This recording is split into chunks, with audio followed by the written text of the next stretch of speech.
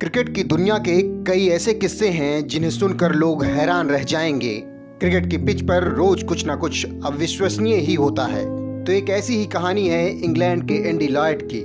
Lloyd England का वो बल्लेबाज जो टेस्ट क्रिकेट के इतिहास में एक ओपनर के तौर पर खेला, लेकिन कभी आउट ही नहीं हुआ।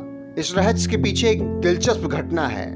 दरअसल, लॉयड ने अपने टेस्ट करियर का पहला मैच 14 जून उन्नीस सौ चौरासी को वेस्टइंडीज के खिलाफ खेला था। जहाँ पर अपने पहले ही टेस्ट मैच में जब इंग्लैंड की तरफ़ से लॉयड ओपनिंग करने आए तो उनके साथ एक हादसा हो गया।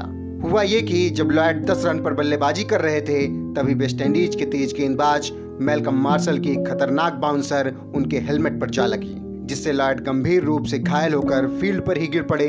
आनंद फानन में उन्हें चोटिल हालत में अस्पताल ले जाया गया, जहाँ पर काफ़ी समय तक उनका उपचार चला, जिसके बाद वह ज़िंदा तो बच गए लेकिन दुर्भाग्य से वापस कभी टेस्ट मैच खेलने नहीं आ पाए।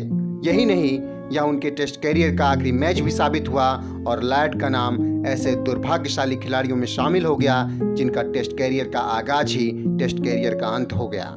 इस तरीके से लॉयड टेस्ट इतिहास के इकलौते ऐसे ओपनर बल्लेबाज बन गए, जो कभी आउट ही नहीं हुए।